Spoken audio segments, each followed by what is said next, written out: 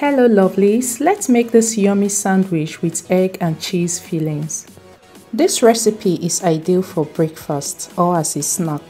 If you try this delicious, you won't stop craving for more. Let's start with the egg fillings. Break 3 eggs into a bowl. Add chili pepper to your taste. Add some salt and whisk the egg properly. Set this aside. In a hot pan, add 1 tablespoon of olive oil.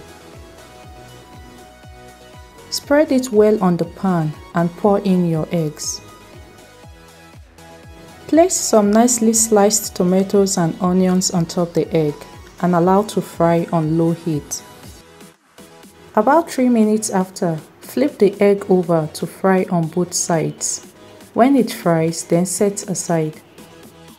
Next to our bread batter, in a blender, add 1 cup of milk, 2 eggs, half teaspoon of salt, a teaspoon of black pepper, 5 tablespoons of vegetable oil, half cup of flour and baking powder. Blend this to mix properly. Add the amount of flour to give you a bit watery consistency. Next, grease your sandwich maker with some butter. Add your butter and spread evenly like so.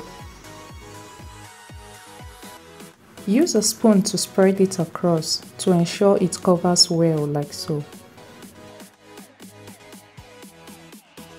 Cover this and let it cook for 3 minutes. 3 minutes after, spread some tomato sauce or ketchup on both sides of the bread. Add one slice of mozzarella cheese, a slice from your fried egg. Place some sliced sausages on it. Add another slice of mozzarella cheese. Close your sandwich nicely and allow for 2 minutes. Repeat the process for the remaining blended batter. And two minutes after guys, our sandwich is ready. See how lovely it is and of course so yummy. If you try this recipe guys, you won't stop craving this.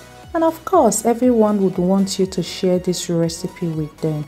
It is so so yummy. Thank you so much for watching. Please like and share this video and follow this page for more budget friendly meals. Bye.